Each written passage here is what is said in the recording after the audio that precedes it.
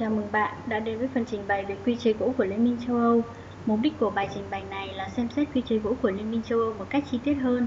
Tiếp sau phần giới thiệu được nêu trong bài trình bày về kế hoạch hành động quản trị rừng và thương mại lâm sản FLEGT của Liên minh châu Âu. Bài trình bày này là một phần trong chuỗi các bài thuyết trình được NEPCON xây dựng thuộc dự án có tên, Tăng cường năng lực của các tổ chức xã hội dân sự và doanh nghiệp vừa và nhỏ nhằm đáp ứng các yêu cầu của FLEGT. Dự án này do Liên minh châu Âu tài trợ, được thực hiện bởi NEPCON và Viện Quản lý rừng bền vững và chứng chỉ rừng SFMI tại Việt Nam.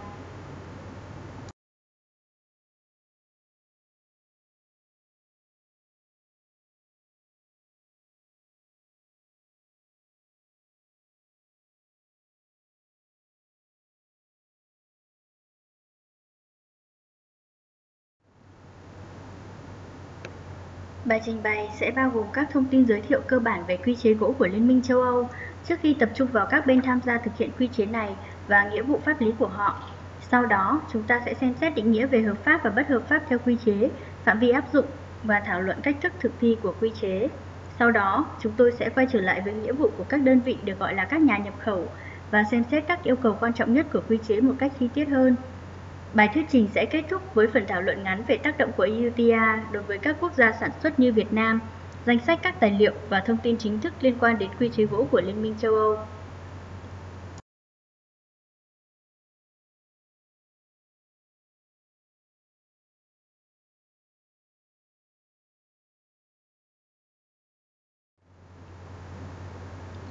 Quy chế chúng ta đang nói tới được chính thức mang tên Quy chế số 995-2010 của Nghị viện và Hội đồng châu Âu ngày 20 tháng 10 năm 2010 đề ra những nghĩa vụ của các nhà nhập khẩu đưa gỗ và sản phẩm gỗ vào thị trường. Thông thường, nó chỉ được gọi là Quy chế gỗ của Liên minh châu Âu hoặc EUTA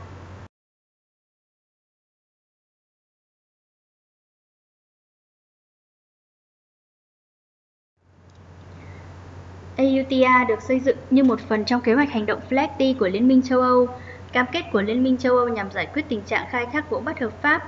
Kế hoạch hành động FLEGT của Liên minh châu Âu được phê chuẩn năm 2003 và đề ra các biện pháp nhằm đạt được ba mục tiêu chính là ngăn chặn nhập khẩu gỗ bất hợp pháp vào Liên minh châu Âu, cải thiện việc cung cấp gỗ hợp pháp và kích cầu đối với gỗ từ rừng được quản lý một cách có trách nhiệm. Một hợp phần của kế hoạch hành động là việc sử dụng pháp luật hiện hành hoặc mới để hỗ trợ kế hoạch hành động và do vậy EUTA đã được đưa vào. Quy chế gỗ Liên minh châu Âu nhằm giảm khai thác gỗ trái phép bằng cách đảm bảo không có gỗ hoặc sản phẩm gỗ bất hợp pháp được bán ở Liên minh châu Âu. Hơn thế nữa, quy chế này nhằm mục đích phát triển các thông lệ kinh doanh có trách nhiệm, hướng dẫn các nhà cung cấp và người tiêu dùng trên thị trường. Liên minh châu Âu thực hiện các biện pháp nhằm đảm bảo gỗ được khai thác phù hợp với luật pháp tại quốc gia khai thác. Điều này kỳ vọng sẽ giúp làm giảm nạn phá rừng trên toàn cầu và làm giảm tác động tiêu cực của vấn nạn này tới kinh tế, môi trường và xã hội toàn cầu.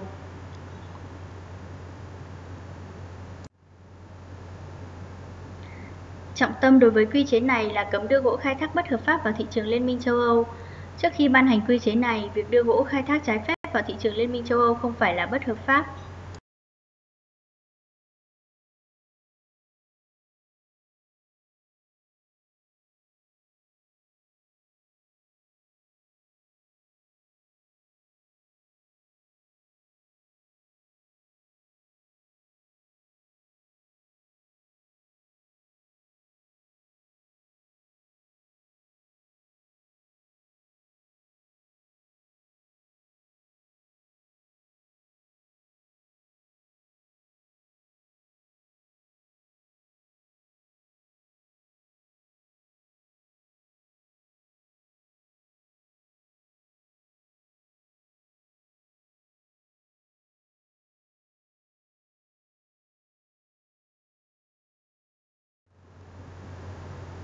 Ngay sau khi kế hoạch hành động Flexi của Liên minh châu Âu được thông qua vào năm 2003, nhu cầu có các phương án pháp lý bổ sung nhằm đạt được các mục tiêu của kế hoạch hành động đã được xác định. Năm 2008, Ủy ban châu Âu đã đề xuất dự thảo quy chế này sau một thời gian xây dựng. Dự thảo đã được sửa đổi vào cuối cùng ngày 20 tháng 10 năm 2010. Nghị viện châu Âu bỏ phiếu cấm gỗ và sản phẩm gỗ bất hợp pháp đi vào thị trường Liên minh châu Âu và thông qua quy chế. Ngày 3 tháng 3 năm 2013, quy chế có hiệu lực nó không được áp dụng hồi tố, do vậy chỉ áp dụng cho các sản phẩm gỗ được đưa vào thị trường Liên minh châu Âu sau ngày này. Tiếp theo, tới phần các yêu cầu và phạm vi của quy chế, EUTA bao gồm 3 nghĩa vụ chính. Thứ nhất, quy chế cấm các công ty ở châu Âu đưa gỗ khai thác trái phép và các sản phẩm gỗ từ gỗ bất hợp pháp vào thị trường Liên minh châu Âu. Thứ hai, nó yêu cầu các công ty đưa gỗ vào thị trường Liên minh châu Âu được gọi là các nhà nhập khẩu tiến hành trách nhiệm giải trình đối với gỗ họ đang sử dụng. Điều này đòi hỏi các nhà nhập khẩu phải nắm bắt thông tin về các sản phẩm mà họ đang nhập khẩu, thực hiện các bước đánh giá và giảm thiểu rủi ro bất hợp pháp của những sản phẩm này. Thứ ba, quy chế cũng bao gồm yêu cầu đối với thương nhân mua hoặc bán gỗ đã có trên thị trường Liên minh châu Âu lưu trữ hồ sơ về người bán và người mua. Một điểm quan trọng là chỉ có các sản phẩm có giấy phép FLEGT hoặc giấy phép chứng nhận sai test mới đương nhiên tuân thủ EUTA. Khi một sản phẩm có giấy phép FLEGT, chứng nhận hoặc giấy phép sai test hợp lệ, các nhà nhập khẩu không cần phải tiến hành xác minh về rủi ro sản phẩm bất hợp pháp.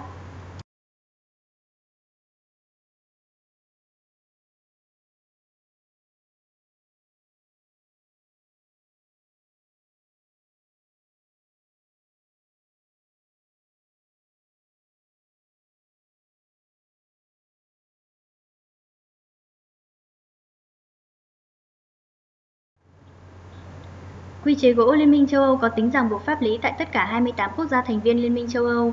Nó áp dụng cho tất cả các sản phẩm gỗ được khai thác và sản xuất trong Liên minh châu Âu, cũng như các sản phẩm được sản xuất ở các nước khác sau đó nhập khẩu vào Liên minh châu Âu.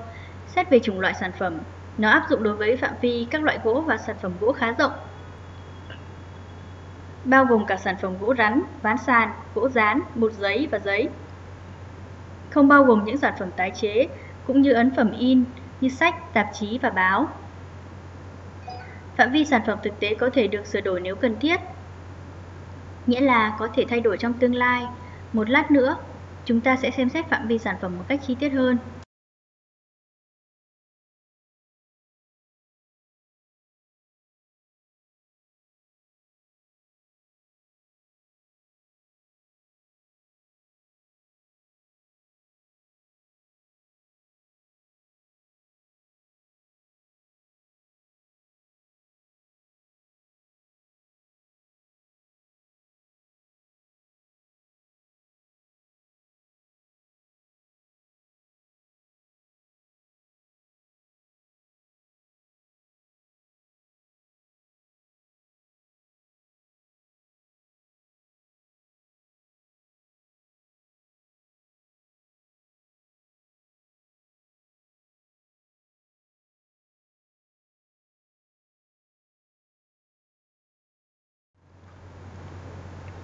Trước khi tới phần đó, chúng ta sẽ xem xét ai tham gia vào công tác thực hiện và thi hành quy chế này. Một cách chung nhất có bốn đối tượng chính. Thứ nhất, chúng ta có Ủy ban châu Âu và các quốc gia thành viên Liên minh châu Âu. Từng quốc gia phải chỉ định ít nhất một cơ quan có thẩm quyền chịu trách nhiệm thi hành quy chế trên toàn quốc. Sau đó, tất nhiên có những công ty áp dụng quy chế này, đó là những công ty mua và bán các sản phẩm gỗ trong Liên minh châu Âu và họ được phân loại dựa trên việc họ đưa gỗ vào thị trường Liên minh châu Âu lần đầu tiên hoặc kinh doanh gỗ đã có trên thị trường Liên minh châu Âu. Cuối cùng, chúng ta có các tổ chức giám sát, có vai trò đặc biệt trong việc hỗ trợ các công ty tuân thủ quy chế.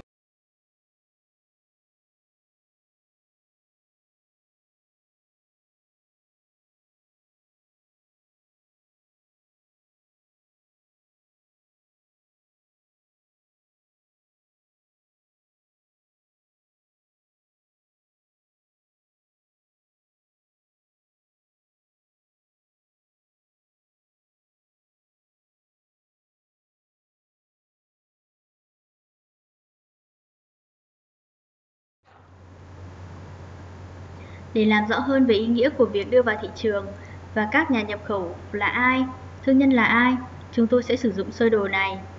Đưa nguyên liệu vào thị trường Liên minh châu Âu có nghĩa là sản phẩm gỗ cụ thể phải có mặt ở Liên minh châu Âu hoặc vì nó được khai thác ở các nước Liên minh châu Âu hoặc đã được nhập khẩu vào Liên minh châu Âu từ nước khác. Các nhà nhập khẩu vào Liên minh châu Âu là những người đưa các sản phẩm gỗ vào thị trường Liên minh châu Âu lần đầu tiên. Thương nhân mặt khác là các đơn vị mua hoặc bán gỗ hoặc sản phẩm gỗ đã có trên thị trường. Thương nhân hoặc là sẽ mua gỗ từ các nhà nhập khẩu hoặc từ thương nhân khác. Nói cụ thể hơn về việc định nghĩa việc đưa vào thị trường và ai là nhà nhập khẩu. Với gỗ được sản xuất bên ngoài EU, sau đó nhập khẩu vào Liên minh châu Âu, nhà nhập khẩu là đơn vị đứng tên nhập khẩu khi gỗ được cơ quan hải quan Liên minh châu Âu thông quan để lưu hành tự do. Cần lưu ý rằng, định nghĩa nhà nhập khẩu độc lập với quyền sở hữu sản phẩm hoặc các thỏa thuận hợp đồng khác. Đối với gỗ khai thác trong Liên minh châu Âu, các nhà nhập khẩu là đơn vị phân phối hoặc sử dụng gỗ sau khi thu hoạch.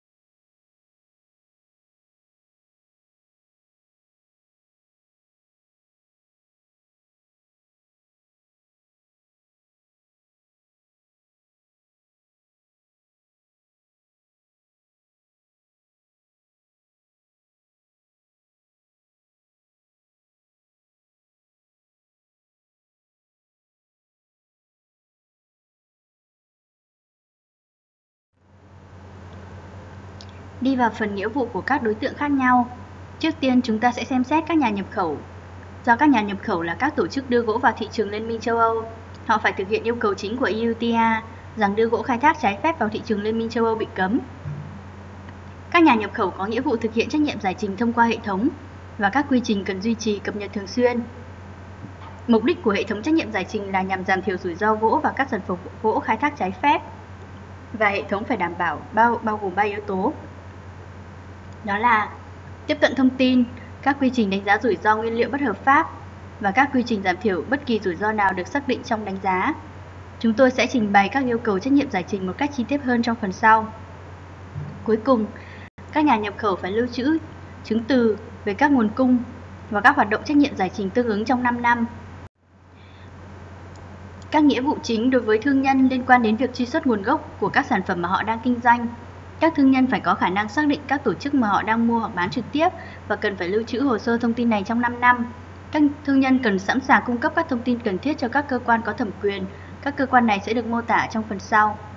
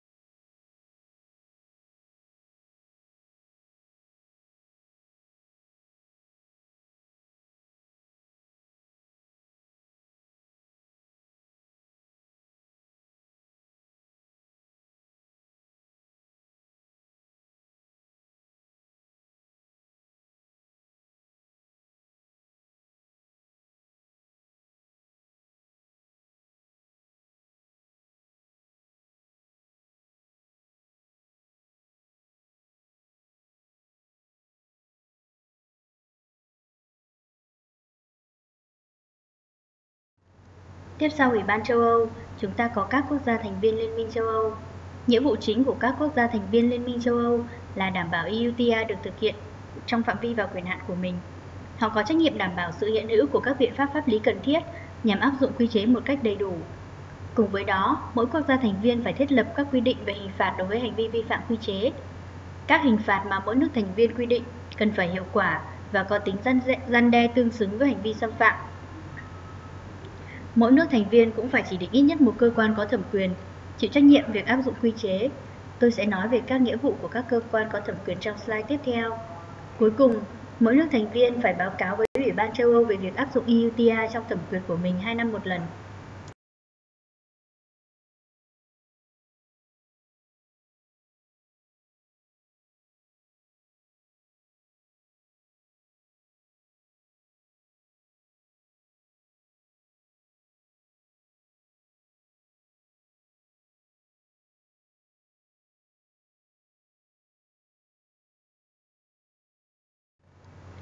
Tiếp đến phần các cơ quan có thẩm quyền, đây là những cơ quan chính phủ chịu trách nhiệm cho việc áp dụng và thực thi quy chế trong nước mình.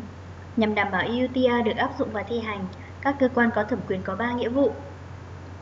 cơ quan có thẩm quyền phải định kỳ tiến hành kiểm tra các tổ chức giám sát và đảm bảo họ thực hiện đầy đủ nghĩa vụ khi đã có các thông tin liên quan. Họ cũng cần giám sát các nhà nhập khẩu nhằm đảm bảo việc thực hiện nghĩa vụ một cách hiệu quả. Đối với công tác này, họ cần phải tiến hành kiểm tra, có thể là các cơ sở của các nhà nhập khẩu và đánh giá tại hiện trường. Cơ quan có thẩm quyền có thể yêu cầu các nhập nhà nhập khẩu có những hành động khắc phục khi cần thiết. Cuối cùng, cơ quan có thẩm quyền cần lưu trữ hồ sơ của các cuộc kiểm tra và công bố công khai các thông tin liên quan. Một danh sách các cơ quan có thẩm quyền có thể được tra cứu tại đường link có trên slide.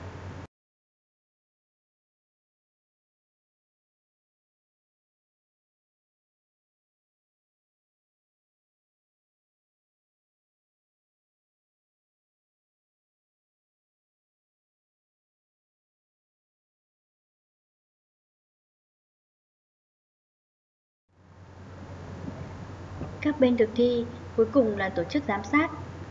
Đây là những tổ chức hỗ trợ các nhà nhập khẩu tuân thủ quy chế gỗ Liên minh châu Âu. Theo EUTA, tổ chức giám sát có 3 nghĩa vụ. Họ phải duy trì và thường xuyên đánh giá hệ thống trách nhiệm giải trình và trao cho các nhà nhập khẩu quyền sử dụng hệ thống. Nếu các nhà nhập khẩu chọn sử dụng hệ thống trách nhiệm giải trình của họ, tổ chức giám sát có nghĩa vụ xác minh hệ thống giải trình được sử dụng một cách thích hợp. Cuối cùng, nếu có dấu hiệu nhà nhập khẩu không sử dụng hệ thống thích hợp, tổ chức giám sát phải có hành động phù hợp bao gồm thông báo cho các cơ quan có thẩm quyền về vi phạm nghiêm trọng hoặc lặp đi lặp lại của nhà nhập khẩu. Tổ chức giám sát cần được Ủy ban châu Âu công nhận chính thức và công việc của họ được các cơ quan có thẩm quyền tại các quốc gia thành viên Liên minh châu Âu kiểm tra định kỳ. Quyền công nhận của các tổ chức có thể bị thu hồi nếu họ không thực hiện chức năng của mình theo quy định của pháp luật. Danh sách các tổ chức giám sát được công nhận có trong liên kết ở phía bên tay phải của phần trình bày. Trong phần thảo luận về các tổ chức giám sát và các hệ thống trách nhiệm giải trình của họ, điều quan trọng cần lưu ý là các nhà nhập khẩu không nhất thiết phải sử dụng hệ thống trách nhiệm giải trình được lập bởi tổ chức giám sát mà có thể xây dựng hệ thống của riêng mình.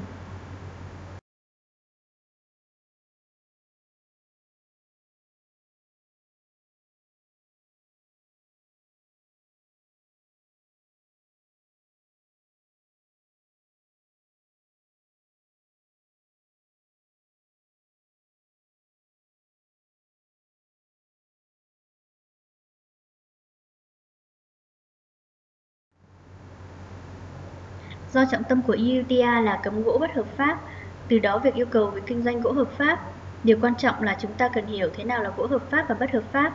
Đối với định nghĩa của cả gỗ khai thác hợp pháp và bất hợp pháp, quy chế gỗ Liên minh châu Âu sử dụng pháp luật áp dụng tại các nước khai thác. Điều này áp dụng cho tất cả các quốc gia, bất kể nước khai thác là ở Liên minh châu Âu hay không. Dĩ nhiên, khai thác hợp pháp là gỗ được khai thác đúng theo luật pháp hiện hành và gỗ khai thác trái phép là gỗ được khai thác trái với luật pháp hiện hành.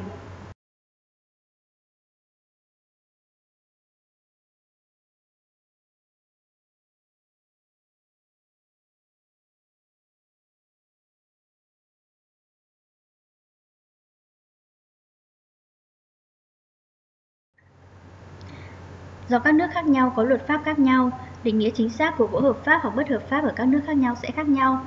Tuy nhiên, EUTA xác định rõ các loại quy định pháp luật cần được áp dụng tại tất cả các quốc gia, đó là những quy định liên quan tới quyền khai thác hợp pháp, thuế và lệ phí liên quan đến khai thác, luật khai thác gỗ, bao gồm quy định pháp lý liên quan trực tiếp tới môi trường và rừng, quy định về quyền sở hữu và sử dụng của các bên thứ ba, quy định về thương mại và hải quan.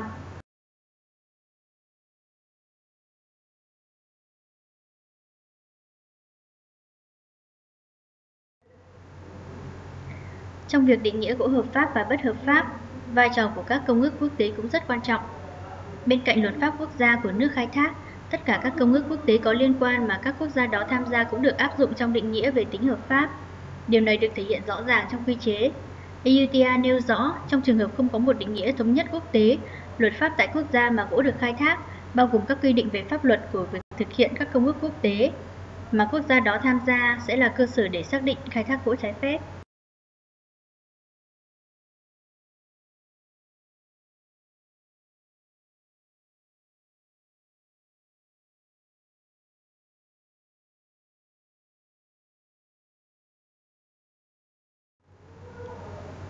Tiếp theo, chúng tôi sẽ xem xét phạm vi sản phẩm để biết quy chế áp dụng đối với những sản phẩm nào.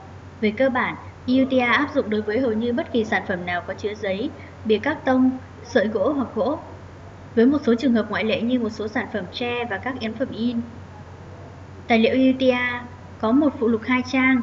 Tại cuối cùng, trong đó liệt kê tất cả các loại sản phẩm áp dụng quy chế.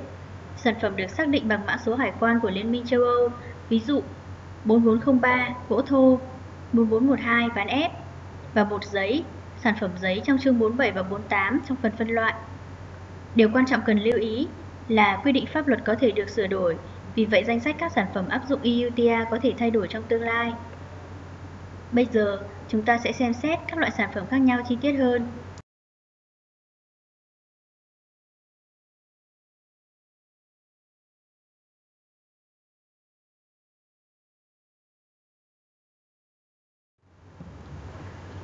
Ở đây chúng tôi đã liệt kê các loại sản phẩm áp dụng quy chế gỗ của Liên minh châu Âu. Như bạn có thể thấy, phạm vi sản phẩm rất rộng. Tất cả các sản phẩm thô như gỗ ở dạng thô hoặc gỗ nhiên liệu, tới gỗ xẻ và các sản phẩm rắn khác như tấm vách ni, ván ép, ván sợi và ván răm, bột giấy, sản phẩm giấy. Một số chế phẩm gỗ như thùng đóng gói, hộp thùng và thùng rượu, đồ nội thất bằng gỗ, nhà làm sẵn cũng có trong phạm vi này. Có một vài trường hợp ngoại lệ Chúng ta sẽ xem xét ở những phần tiếp theo.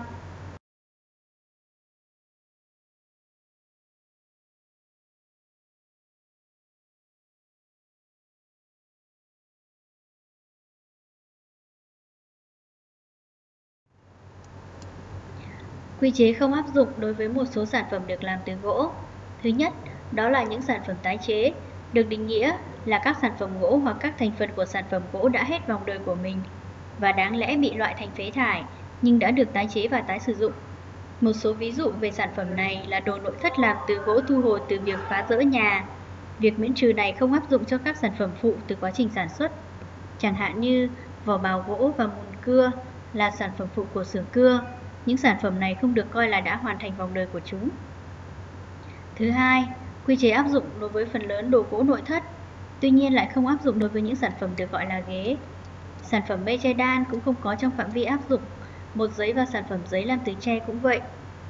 Bao bì và nguyên liệu in cũng không áp dụng.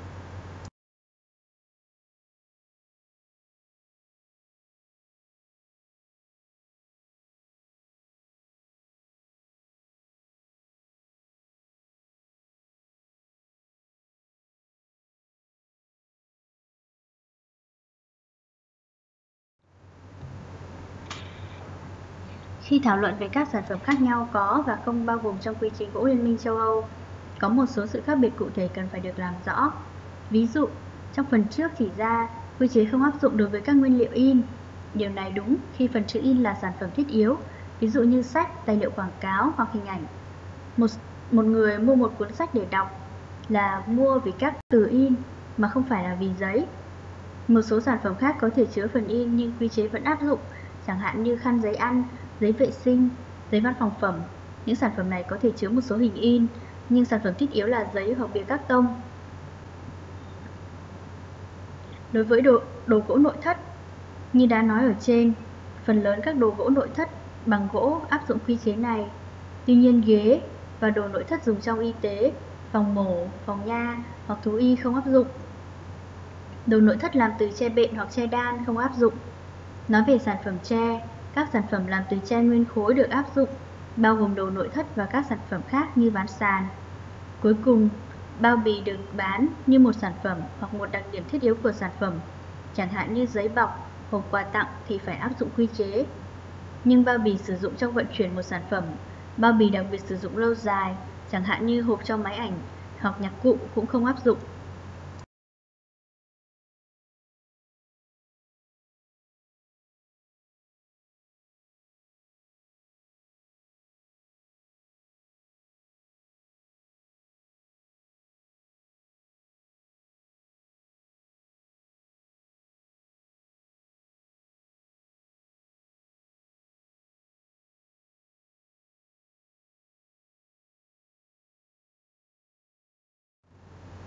Bây giờ chúng ta sẽ chuyển tới phần thi hành quy chế. Chúng tôi đã trình bày rằng các nước thành viên Liên minh châu Âu thiết lập hình phạt cho các hành vi không tuân thủ và chỉ định các cơ quan có thẩm quyền kiểm tra tính tuân thủ. Các hình phạt được quy định ở cấp quốc gia, vì thế sẽ khác nhau giữa các quốc gia khác nhau. Tuy nhiên, Các biện pháp xử phạt phải có hiệu quả và tương xứng với mức độ vi phạm và có tác dụng ngăn chặn các tổ chức vi phạm pháp luật. Xử phạt có thể bao gồm phạt tiền, tịch thu sản phẩm, đình chỉ giấy phép thương mại hoặc thậm chí phạt tù.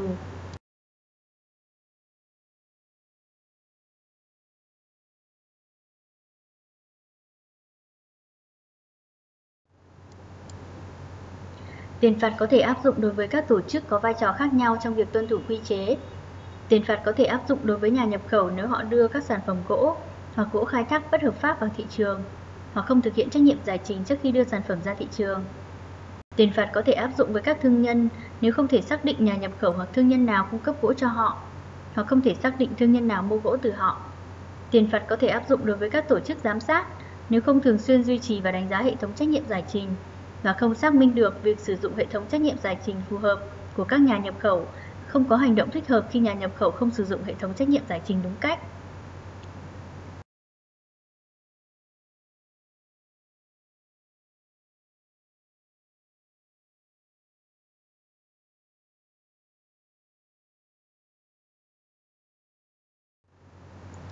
Về vấn đề trách nhiệm pháp lý, nhà nhập khẩu có trách nhiệm hoặc chịu trách nhiệm pháp lý đối với việc duy trì hệ thống trách nhiệm giải trình để chỉ mua gỗ với rủi ro bất hợp pháp không đáng kể.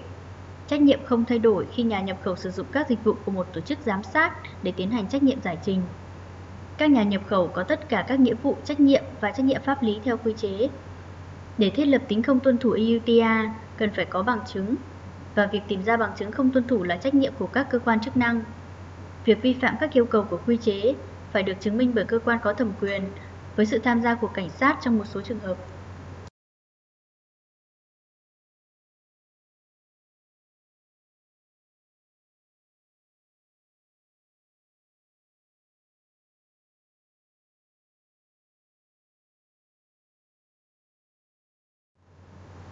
Đến đây, tôi đã đi qua hầu hết các thông tin chung về EUTA.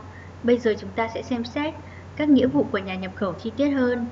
Hãy nhớ rằng, các nhà nhập khẩu là những công ty đưa sản phẩm gỗ vào thị trường Liên minh châu Âu lần đầu tiên và rằng nghĩa vụ quan trọng của họ là tiến hành trách nhiệm giải trình về các sản phẩm trước khi mua nhằm giảm thiểu rủi ro của sản phẩm là bất hợp pháp. EUTR nêu rõ các hệ thống để tiến hành trách nhiệm giải trình cần bao gồm các quy trình tiếp cận thông tin về sản phẩm, thực hiện đánh giá rủi ro và giảm thiểu rủi ro được xác định trong phần đánh giá. Các nhà nhập khẩu có thể xây dựng hệ thống trách nhiệm giải trình của họ hoặc sử dụng một hệ thống hiện có, được xây dựng bởi một tổ chức giám sát đã được công nhận.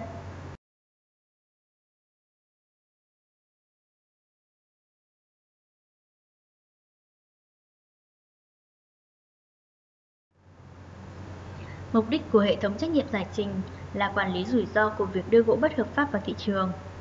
Thông tin thu thập được, sử dụng để tiến hành đánh giá rủi ro của gỗ bất hợp pháp. Và nếu rủi ro được đánh giá là không đáng kể thì các nguyên liệu liên quan có thể được đưa vào thị trường.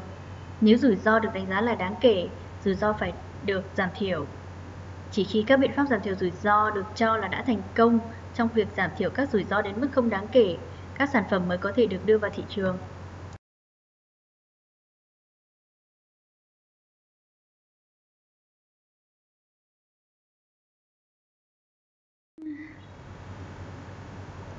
Bước đầu tiên của quá trình trách nhiệm giải trình là tiếp cận được thông tin, các thông tin cần thiết liên quan tới gỗ và các sản phẩm gỗ cung ứng và tính hợp pháp của sản phẩm đó.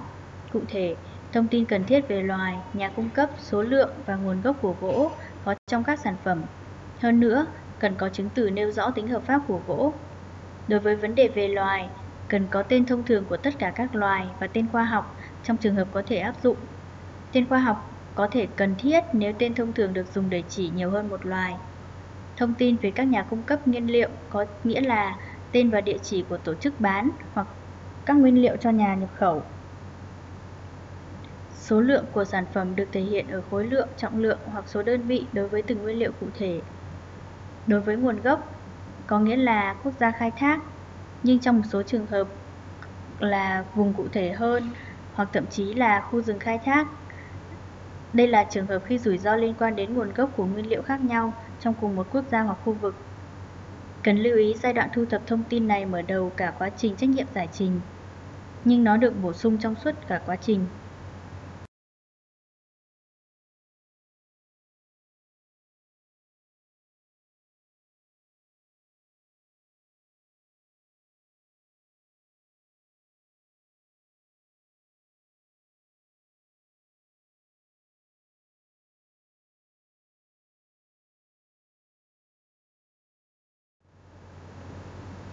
Điều rất quan trọng và cần phải được nhấn mạnh là tuy thông tin cần được thu thập, không chỉ đơn giản là thu thập thông tin và để đó, thu thập thông tin không phải là một yêu cầu biệt lập, thông tin phải được thu thập nhưng sau đó phải được phân tích như một phần trong đánh giá rủi ro về tính hợp pháp của nguyên liệu có liên quan đến thông tin đó.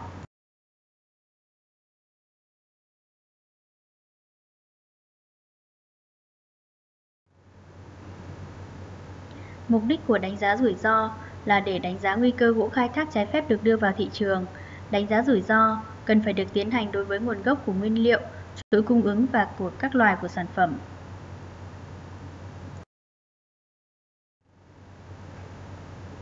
Trong đó, các tiêu chí cụ thể đối với đánh giá rủi ro cần phải bao gồm đảm bảo tính tuân thủ pháp luật hiện hành, trong đó có thể bao gồm giấy chứng nhận hoặc các chương trình xác minh của bên thứ ba về việc tuân thủ pháp luật hiện hành, sự phổ biến của việc khai thác trái phép một loài cây cụ thể, sự phổ biến của việc khai thác hoặc các hành vi trái phép tại một quốc gia xuất xứ hoặc trong vùng nào đó trong nước mà gỗ được khai thác, bao gồm cả việc xem xét sự phổ biến của xung đột vũ trang.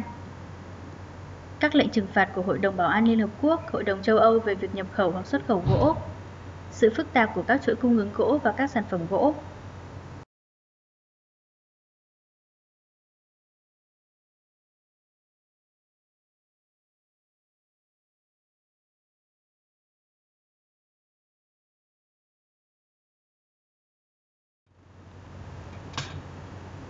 Đánh giá rủi ro cần phải đi đến một kết luận như chúng ta đã xem xét trước đây nhằm xác định có cần thiết tiến hành các hành động giảm thiểu rủi ro bổ sung hay không trước khi gỗ được đưa vào thị trường.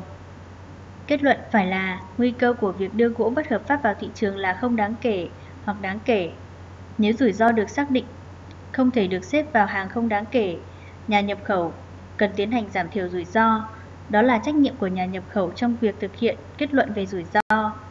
Nếu họ thuê dịch vụ của một tổ chức giám sát, tổ chức giám sát được kỳ vọng sẽ xác minh rằng kết luận là chấp nhận được hay không.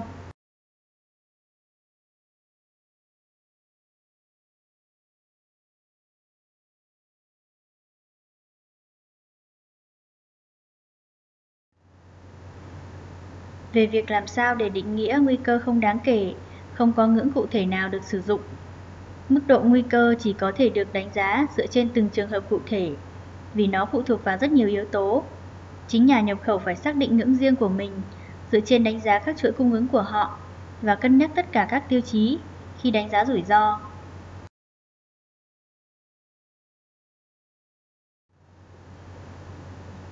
Nếu rủi ro đưa gỗ bất hợp pháp vào thị trường là đáng kể, cần tiến hành các biện pháp giảm thiểu rủi ro được xác định. Các quy trình giảm thiểu rủi ro bao gồm một số các biện pháp và quy trình phù hợp, tương xứng nhằm giảm thiểu rủi ro một cách hiệu quả. Không có yêu cầu cụ thể đối với những biện pháp giảm thiểu rủi ro, nhưng các biện pháp có thể bao gồm yêu cầu bổ sung thông tin hoặc chứng từ từ nhà cung cấp, hoặc yêu cầu các nguyên liệu đã qua xác minh của bên thứ ba, hoặc thay thế nhà cung cấp.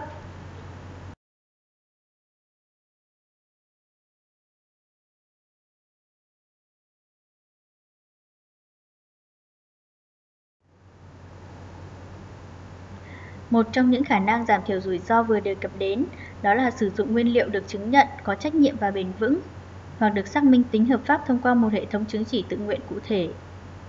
Việc này đóng một vai trò quan trọng trong việc giảm thiểu rủi ro, nhưng cần lưu ý rằng sử dụng nguồn cung ứng nguyên liệu có chứng chỉ hoặc đã được xác minh không phải là bằng chứng hiển nhiên của tính hợp pháp. Như đã đề cập trước đây, chỉ có nguyên liệu với giấy phép Black Tea, chứng nhận hoặc giấy phép CITES hợp lệ mới là đương nhiên tuân thủ EUTA. Điều mà Liên minh châu Âu đã thực hiện là lập danh sách các yêu cầu cần được áp dụng đối với các hệ thống chứng chỉ hoặc xác minh của bên thứ ba, nhằm sử dụng chúng như một phần của công tác đánh giá hoặc giảm thiểu rủi ro.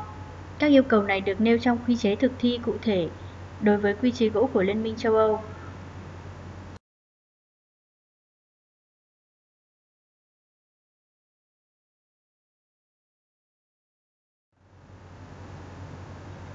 Các tiêu chí Liên minh châu Âu đặt ra về cơ bản phát thảo định nghĩa về hệ thống chứng chỉ đáng tin cậy của Liên minh châu Âu, trong đó cần phải đã thiết lập và cung cấp cho bên thứ ba sử dụng một hệ thống các yêu cầu được công bố công khai, mà ít nhất bao gồm tất cả các yêu cầu liên quan về quy định pháp luật áp dụng.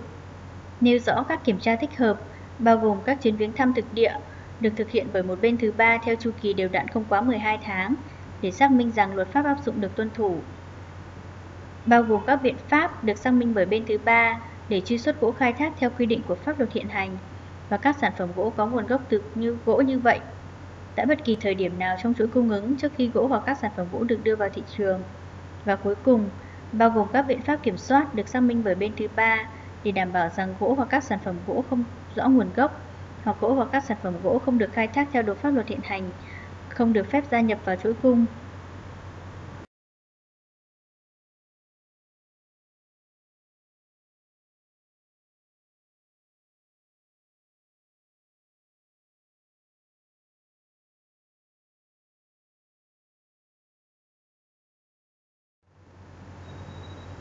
Chủ đề cuối cùng trong phần thuyết trình này, trước khi kết thúc, là tác động đến ngành gỗ tại các nước sản xuất đang cung cấp sản phẩm gỗ cho các nhà nhập khẩu trong Liên minh châu Âu. Thứ nhất, cần thừa nhận rằng, mặc dù quy chế gỗ của Liên minh châu Âu áp dụng đối với các đơn vị trong Liên minh châu Âu, các yêu cầu đối với các nhà nhập khẩu có thể được đẩy xuống các chuỗi cung ứng tới các nhà cung cấp. Điều này có nghĩa là các yêu cầu cung cấp thông tin và bằng chứng về nguồn gốc và tính hợp pháp của các sản phẩm chính là những yêu cầu được áp dụng cho các nhà nhập khẩu và các nhà nhập khẩu lại yêu cầu đối với các nhà cung cấp của mình. Các nhà nhập khẩu có thể sẽ yêu cầu một loạt các thông tin, tài liệu từ các nhà cung cấp của họ, với mục đích cuối cùng là có thể chứng minh tính tuân thủ với pháp luật có liên quan. Thông tin và chứng từ có thể sẽ bao gồm bằng chứng về nguồn gốc, loài và chuỗi cung ứng của nguyên liệu, cùng với các tài liệu xác minh các khía cạnh pháp lý khai thác, thương mại và vận chuyển. Các nhà nhập khẩu cũng có thể yêu cầu kiểm tra hoạt động của các nhà cung cấp, được thực hiện bởi nhà nhập khẩu hoặc bên thứ ba Họ cũng có thể yêu cầu các nhà cung cấp của họ có chứng chỉ, mua và cung cấp các sản phẩm có chứng chỉ. Có nhiều vấn đề liên quan đến các yêu cầu như vậy. Một trong số đó là nhiều nhà cung cấp có thể không muốn cung cấp thông tin về chuỗi cung ứng mà họ đang mua sản phẩm. Điều này là do họ xem là thông tin kinh doanh nhạy cảm cần giữ cho riêng họ để tránh gia tăng cạnh tranh khi mua sản phẩm.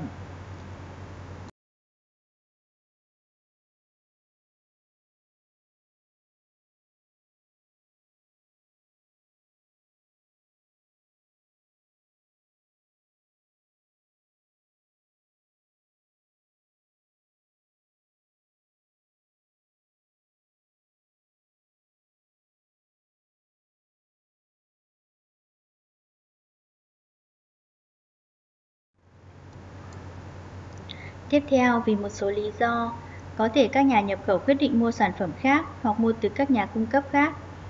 Điều này có thể là do họ không thể thu thập thông tin họ muốn từ một nhà cung cấp cụ thể, hoặc họ đánh giá một sản phẩm hoặc một chuỗi cung ứng có thể quá phức tạp và rủi ro để thu mua. Cuối cùng, tác động đến các nước sản xuất có thể là các nhà cung cấp cảm thấy mơ hồ và khó hiểu về những yêu cầu từ EUTA. Nguồn gốc của sự mơ hồ có thể là do không hiểu rõ các yêu cầu của quy chế gỗ Liên minh châu Âu. Các nhà cung cấp có thể thấy khó hiểu trước các yêu cầu nhằm đáp ứng quy chế, vì họ nhận được yêu cầu về thông tin khác nhau từ những nhà nhập khẩu khác nhau. Điều này có thể là do các nhà nhập khẩu khác nhau có các mức độ thông tin không giống nhau, hoặc do các hệ thống trách nhiệm giải trình của họ có sự khác biệt. Nó có thể đơn giản chỉ vì không phải tất cả các nhà nhập khẩu đều hiểu hết các yêu cầu của quy chế gỗ của Liên minh châu Âu.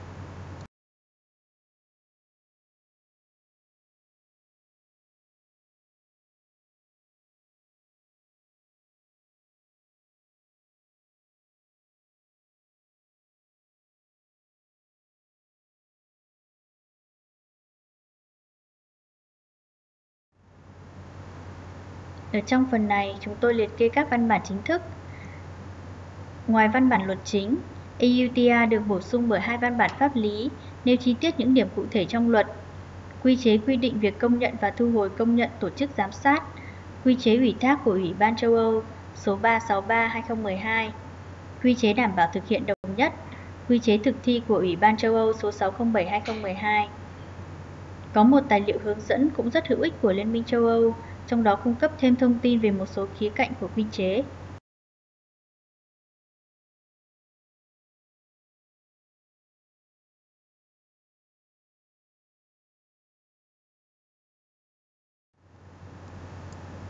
Để kết thúc phần trình bày này, chúng tôi muốn cảm ơn bạn đã quan tâm theo dõi. Chúng tôi hy vọng rằng bạn đã có được những thông tin hữu ích và thú vị.